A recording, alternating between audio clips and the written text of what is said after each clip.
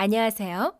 진리, 정의, 개척의 교시 아래 개교 67주년을 맞이한 충북대학교에 관심을 가져주셔서 감사합니다.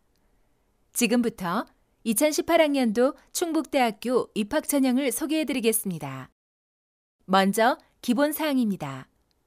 우리 대학 입학 전형은 학생부 위주 전형과 실기 위주 전형, 수능 위주 전형으로 구성되어 있습니다.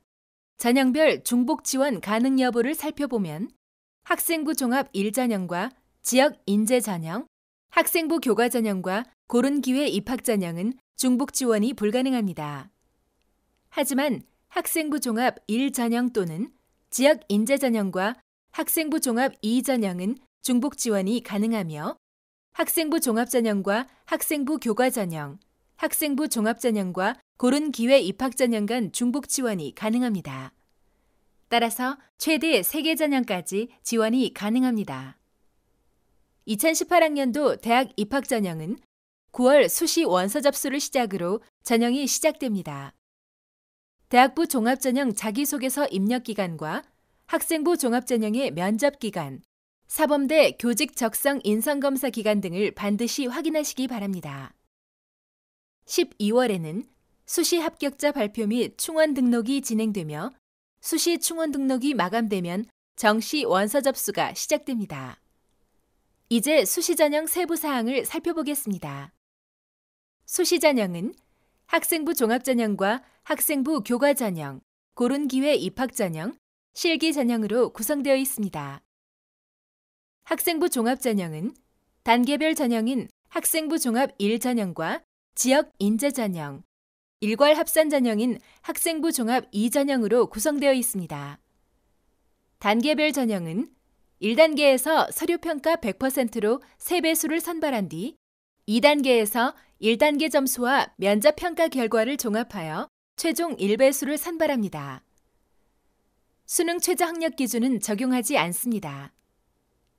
일괄 합산 전형은 서류평가 100%로 학생을 선발하지만 수능 최저 학력 기준을 적용합니다. 학생부 종합전형 서류 및 면접평가는 전문성, 인성, 적극성을 종합적으로 평가하는데 서류평가의 실질 반영 점수는 40점이며 면접평가는 20점입니다. 학생부 교과 전형은 일괄 합산 전형인 학생부 교과 전형으로 구성되어 있습니다. 학생부 교과 성적 100%로 학생을 선발하며 수능 최저 학력 기준을 적용합니다. 하지만 사범대는 유일하게 단계별 전형이며 1단계에서 학생부 교과 성적 100%로 4배수를 선발한 뒤 2단계에서 1단계 점수와 교직 적성 인성검사 결과를 종합하여 최종 1배수를 선발합니다.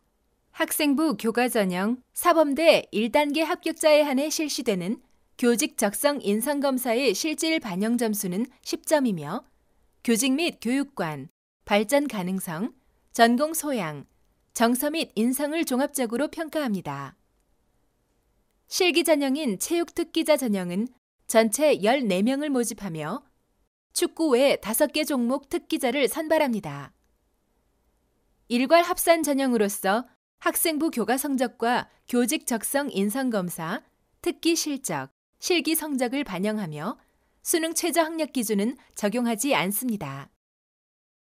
체육 특기자 전형은 종목별 특기 실력이 있어야 지원이 가능하므로 지원 자격 충족 여부를 반드시 확인하시기 바랍니다.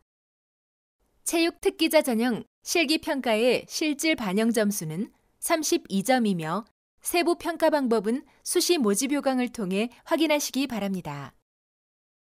체육 특기자 전형 교직 적성 인성 검사는 앞에서 살펴본 학생부 교과 전형과 동일합니다.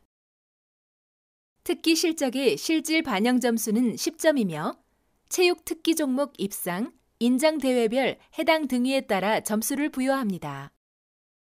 체육 특기 종목 입상 인정 대회는 수시 모집 요강을 참조하시기 바랍니다. 이제 고른 기회 입학 전형을 살펴보겠습니다. 특성화고 출신자 전형과 농어촌 학생 전형의 유형은 학생부 종합 전형이며 각 전형별 지원 자격을 확인하시고 지원하시기 바랍니다. 두 전형 모두 일괄 합산 전형이며 서류평가 100%로 학생을 선발하고 수능 최저 학력 기준을 적용합니다. 하지만 사범대는 단계별 전형이며 1단계에서 서류평가 100%로 4배수를 선발한 뒤 2단계에서 1단계 점수와 교직 적성 인성검사 결과를 종합하여 최종 1배수를 선발합니다. 국가보훈 대상자 전형과 사회적 배려 대상자 전형, 농어촌 학생 전형의 유형은 학생부 교과 전형이며 앞에서 살펴본 전형과 마찬가지로 각 전형별 지원 자격을 확인하시고 지원하시기 바랍니다. 세 전형 모두 일괄 합산 전형이며 학생부 교과 성적 100%로 학생을 선발하고 수능 최저 학력 기준을 적용합니다. 하지만 사범대는 단계별 전형이며 1단계에서 학생부 교과 성적 100%로 4배수를 선발한 뒤 2단계에서 1단계 점수와 교직 적성 인상검사 결과를 종합하여 최종 1배수를 선발합니다. 고른 기회 입학 전형의 서류 평가 및 교직 적성 인상검사는 앞에서 살펴본 학생부 종합전형 및 학생부 교과전형과 동일합니다. 단, 농어촌 학생전형 교직 적성 인성검사에 기본 점수가 없다는 점에 유의하시기 바랍니다. 다음으로 수능 최저 학력 기준을 살펴보겠습니다. 대학 수능 능력 시험 반영 영역은 국어, 수학, 영어, 탐구, 한국사 영역이며 해당 영역들을 반드시 응시해야 합니다. 각 영역별 등급을 반영하며 탐구 영역은 두 과목 평균 등급을 반영하지만 한국사 영역은 응시 여부만을 반영합니다. 자연계 모집 단위 일부 모집 단위는 수학 및 탐구 영역 응시에 대한 제한이 있습니다. 수학 정보통계학부와 수학교육과, 수의학과, 의학과는 반드시 수학 가형을 응시해야 하며 생활대 및 간호학과를 제외한 자연계 모집 단위는 반드시 과학 탐구를 응시해야 합니다. 학생부 종합 2전형과 학생부 교과 전형 수능 최저 학력 기준은 국어, 수학, 영어, 탐구 영역 중 상위 3개 영역 등급 합을 이용합니다. 인문계 모집 단위는 9등급에서 12등급이며 자연계 모집 단위는 4등급에서 12등급입니다. 자연계 모집 단위 지원자가 수학 나형을 응시하면 제시된 등급보다 2등급 상향된 기준을 충족해야 하며 수학 영역 등급을 반드시 등급 합에 포함시켜야 합니다. 하지만 생활대와 수의대, 간호학과는 수학 영역 등급을 반드시 등급 합에 포함시키지 않아도 상관없습니다. 고른 기회 입학 전형 수능 최저 학력 기준은 국어, 수학, 영어, 탐구 영역 중 상위 2개 영역 등급 합을 이용하며 일부 모집 단위를 제외하면 10등급에서 12등급을 기준으로 합니다. 자연계 모집 단위 지원자가 수학 나형을 응시하면 제시된 등급보다 2등급 상향된 기준을 충족해야 합니다. 마지막으로 학생부 교과 성적 반영 방법을 살펴보겠습니다. 1학년 성적을 20%, 2학년 및 3학년 성적을 80% 반영하며 석차 등급과 이수 단위를 활용합니다. 검정고시 합격자는 검정고시 합격 성적을 성적 산출에 활용합니다. 1학년 반영 교과는 계열에 상관없이 국어, 영어, 수학, 사회, 과학이지만 2학년 및 3학년 반영 교과는 계열에 따라 차이가 있습니다. 해당 교과 전 교과목을 반영하며 우리 대학 기준의 반영 과목명을 수시 모집 요강을 통해 반드시 확인하시기 바랍니다. 또한 전체 반영 교과목 수가 14개 이상 되어야 지원이 가능하다는 점을 명심하시기 바랍니다. 석차 등급별 점수는 1등급에서 5등급까지 0.5점의 차이가 있습니다. 다음으로 정시 전형 세부 사항을 살펴보겠습니다. 충북대는 정시 가군과 정시 나군을 통해 학생을 선발하는데 각 군별 모집 단과대학을 확인하시기 바랍니다. 정시 전형은 수능 성적 100%로 학생을 선발하며 사범대와 예체능 계열 모집 단위에 한해 교직 적성 인성 검사, 또는 실기 성적을 추가 반영합니다. 또한 수학 가형 및 나형 인정 모집 단위에 한해 수학 가형 응시자에게 2%의 가산점을 부여합니다. 대학 수학 능력 시험 반영 영역은 수시 전형 수능 최저 학력 기준 반영 영역과 동일합니다. 대학 수학 능력 시험 반영 비율은 절대 평가인 영어 영역을 동일하게 20% 반영하지만 국어와 수학, 탐구 영역 반영 비율은 계열별 차이가 있습니다.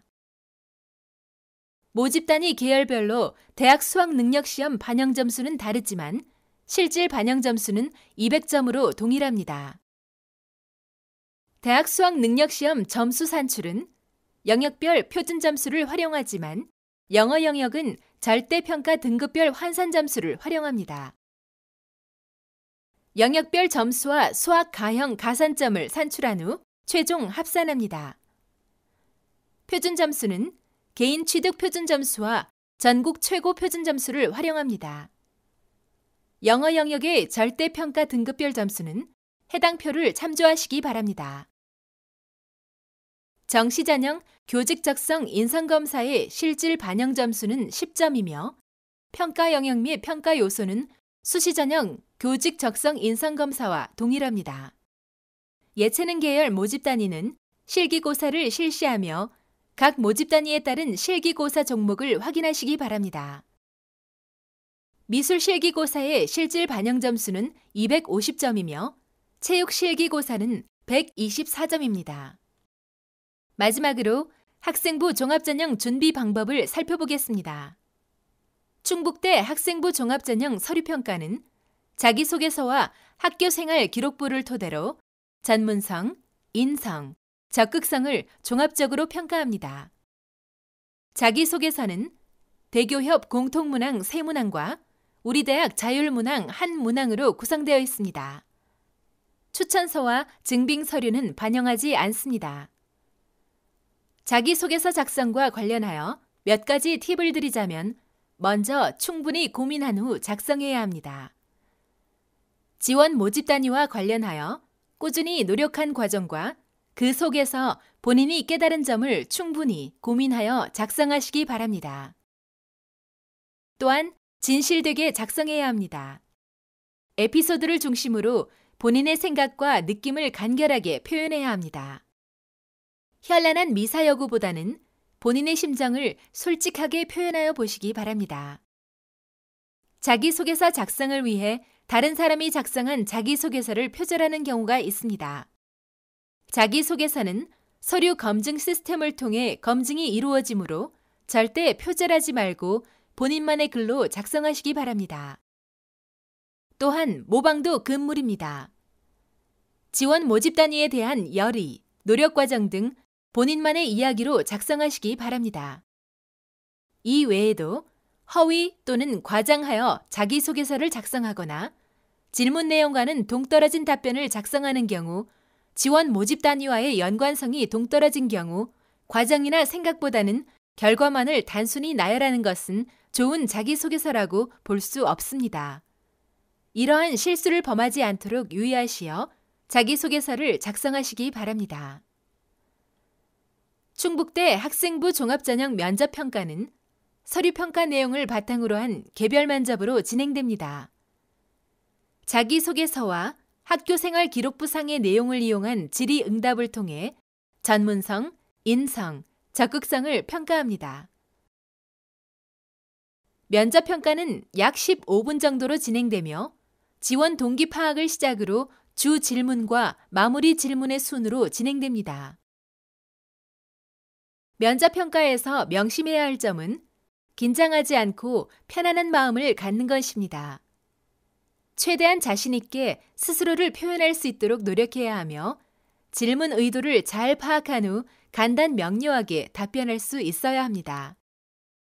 또한 면접평가가 자기소개서 내용에 대한 확인 과정이라는 점을 감안하여 자기소개서 내용을 반드시 숙지하고 임한다면 면접평가에서 좋은 결과를 받을 수 있습니다. 지금까지 2018학년도 충북대 입학전형과 학생부 종합전형 준비 방법을 살펴보았습니다. 더 자세한 내용이 궁금하시다면 충북대학교 입학 welcome 센터를 이용해 보세요.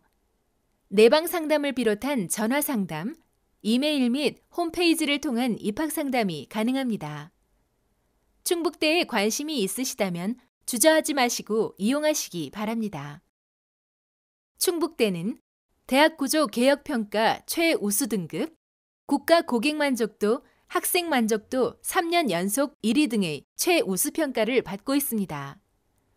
충북대에서 여러분의 꿈을 이루어 보시기 바랍니다. 이상 2018학년도 충북대 입학 전형 안내를 마치도록 하겠습니다. 감사합니다.